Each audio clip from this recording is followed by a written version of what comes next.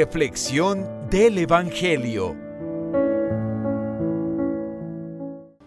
Gloria a ti, Señor Jesús. Qué bonita aclamación tenemos nosotros los cristianos cuando eh, proclamamos el Evangelio. Hoy el evangelista San Mateo nos narra un episodio interesante en la vida de Jesús.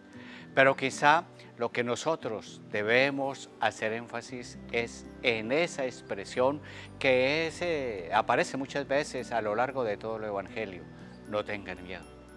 Tenemos muchas tempestades, tempestades afectivas, tempestades económicas, tempestades eh, familiares. Pero si nosotros descubrimos la presencia de Jesús en nuestras vidas, aunque vengan las tempestades, podríamos decir, aunque vengan los terremotos, siempre podremos salir adelante.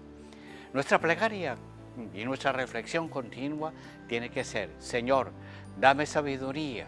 ¿Para qué?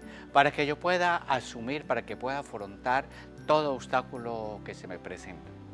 Muchas veces pensamos que Dios no nos oye, que Dios está dormido, que Dios eh, está o de pronto muy ocupado. Lo que sucede es que nosotros tenemos que confiar en Él y decirle, Señor, solo tú tienes palabras de vida eterna. Nos encontramos en el mar, yo diría en el mar de la vida. En ocasiones el mar es tranquilo y ahí muchas veces nos acordamos. Pero cuando el, el mar está eh, exaltado, tenemos un mar bravío, decimos, Señor, Señor, ¿por qué no me escuchas? Señor, ¿por qué no me atiendes? Señor, ¿qué tengo que hacer para que escuche mi plegaria? Por eso, queridos cristovidentes, en el día de hoy, miremos, tomemos cada una de las palabras del Evangelio y escuchemos. No solamente leer, hagamos de cuenta que es la palabra de Dios que nos está susurrando al oído y que nos dice, no tengan miedo, yo he vencido el mal.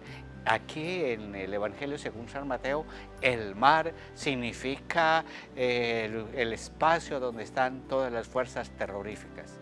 Jesús vence todo. Jesús nos viene a liberar, Jesús nos viene a consolar, Jesús nos viene a fortalecer. Por eso nos vamos a encomendar a Dios y vamos a entregar todo lo que somos y vamos a implorar su bendición.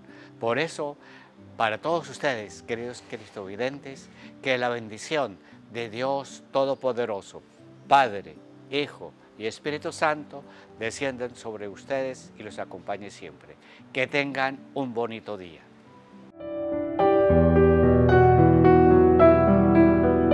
Reflexión del Evangelio